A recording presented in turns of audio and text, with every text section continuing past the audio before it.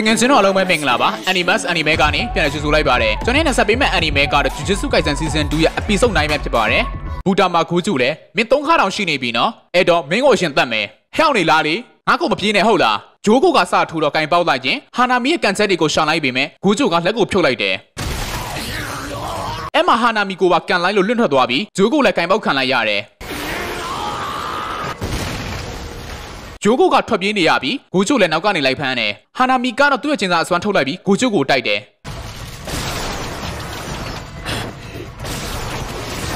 ဟာနာမီမလုံးနဲ့ဂူချိုလည်းရှောင်လိုက်ရင်းနဲ့ဒီနေရာကမင်းရဲ့ပြောက်ကမလားစွမ်းနှုတ်လိုက်တာဖင်ကွဲအောင်អော်တော့တယ် ထင်တဲ့အတိုင်းပဲအစွမ်းနှစ်ခုကိုတပြိုင်နက်တည်းသုံးလို့မရဘူးမလားဂျိုးကိုလည်းလန့်နေပြီချူဆိုလည်းကျိန်စာအစွမ်းနဲ့ပြစ်လိုက်တာကိုတားလိုက်ပြီးကျိန်စာကောင်မဟုတ်ဘူးဟာဂျိုးကိုလိုလည်းဝင်ထိုးတော့ငါကိုနိုင်ဖို့ပူကျဲတဲ့တန်ကိုသုံးလေငါရဲ့စကီးချန်ကြီးတွေကိုထုတ်သုံးလေပဲတပင်ကောင်ဆိုရင်ကျိန်စာအစွမ်းတော့မရှိတော့ဘူးလေဟာနာမီကို Infinity အစွမ်းနဲ့ဖိသက်တယ်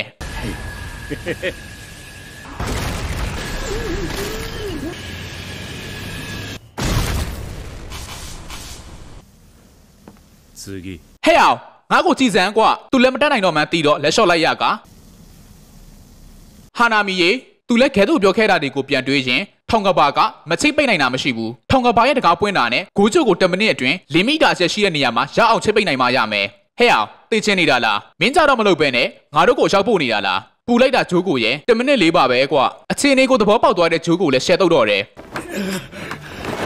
ကိုချိုလည်းနောက်ကနေလိုက်ဖမ်းတယ်ဟာနာမီကိုပိတ်ဆက်ထားရတာအလကားဖြစ်လို့မရဘူးလူအုပ်ထဲကိုရောဝင်ပြီးပြပြပြူဟာကိုဆက်လုပ်ရမယ်သူလည်းပတ်ပြေးရင်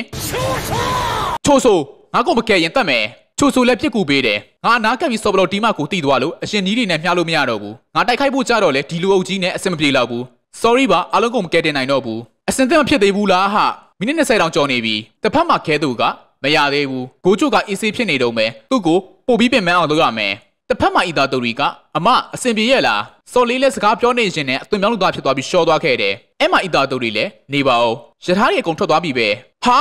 ဆရာကိုချိုရေတစ်ဖက်မှာတော့ရထားလာမယ်လို့ကြေညာလိုက်တာကြောင့်လူတွေလည်းထွက်သွားလို့ရတော့မယ်ဆိုပြီးပြောနေကြကကိုချိုကတော့တခုခုမှားနေမှသိလိုက်တယ်ရထားကြောက်လာလို့တက်မလို့လုံနေကြတော့အထဲကနေအသွင်ပြောင်းလို့သားတွေထွက်လာပြီးလိုက်တက်လို့ထွက်ပြေးနေကြရကရထားထဲကနေမာဟီကိုထွက်လာခဲ့တယ်အဲ့လိုလို့တော့အဆင်ပြေပါမလားဟာနာမီကတော့ခီးသွားပြီတကယ်လားဟာ သူတို့ရဲ့အကြံကဂိုးချိုလူတွေအများကြီးတိတ်သွားတာကိုမြင်ပြီးကောက်သွားအောင်လုပ်ဖို့ပဲဖြစ်တယ်မာဟီတိုကဂိုးချိုကိုသွားတိုက်တော့သူကနာနာမီပြောတဲ့ကောင်ပဲထိုးလိုက်တာကိုရှောင်လိုက်ပြီးရော့တကွက်ပြမယ်လေးလွှာကနေလူတွေအများကြီးပြုတ်ချလာကဂိုးချိုကြောင်နေတော့မာဟီတိုကအလေးဝင်တိုက်တယ်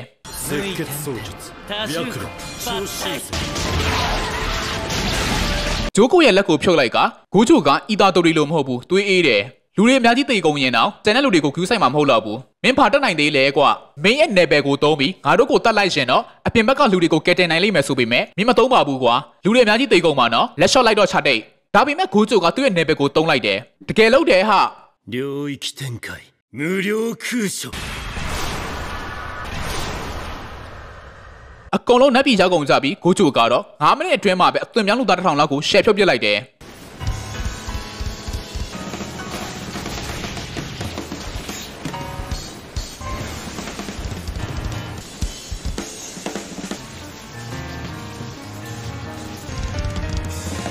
SKBG လည်းအရန်ပင်မန်းနေလို့သတိလွတ်နေတော့အထူးချိန်စာတန်းပစ္စည်းထောင်ကပါကိုတွေ့သွားတယ်။ပွင့်စီ10မိနစ်ထဲဆိုပေမဲ့အေးဆေးပါပစ္စည်းပွင့်သွားပြီးဂူးကျူလည်းပြင်းမလို့လို့တော့မတွေ့တာကြပြီနော်။ဂူးကျူလည်းအံ့ဩနေကပုံပြောင်းနည်းပညာလားအယောင်ဆောင်ထားတာလားမဟုတ်ဘူးသူပဲခဲသူနဲ့အမတ်တရားတွေကိုပြန်မြင်ရောင်နေတော့ချိပိတ်ခံလိုက်ရက